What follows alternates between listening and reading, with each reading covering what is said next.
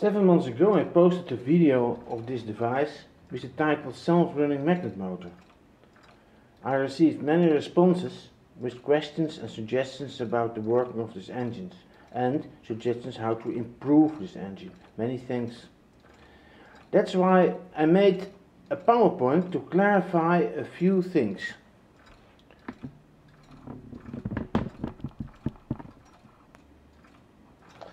It starts with a broken microwave. There are two rings in each microwave. I will show you. That are the rings, ring magnets.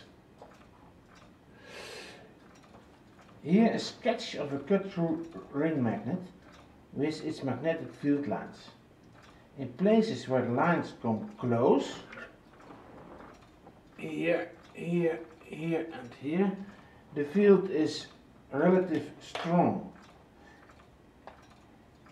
In places where lines are further apart, the field is weaker. This area and this area. Note these two places where the field is relatively weak. That is here in this little circle and here.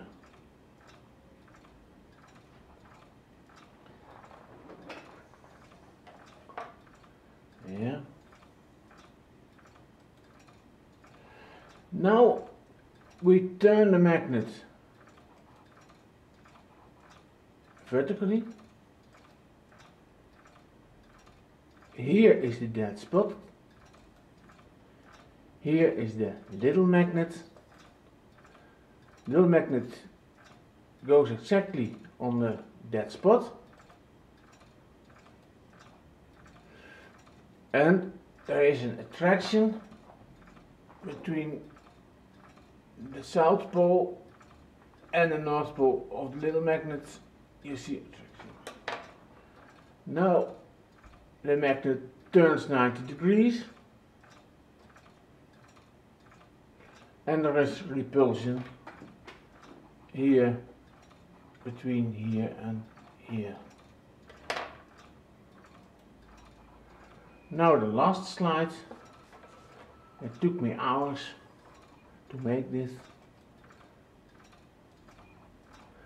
You see the big magnet passes the small magnet and exactly on the stop on the spot on the dead spot it turns. And it can turn because of the relatively weak field on that place.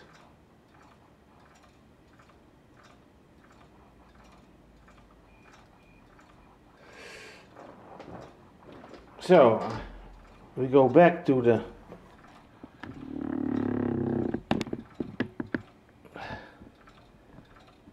to our machine. And I do it in slow motion. The magnet passes and it turns. And the small magnet falls back for the next action. So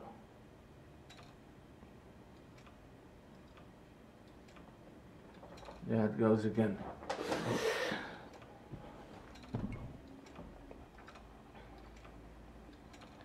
Thank you.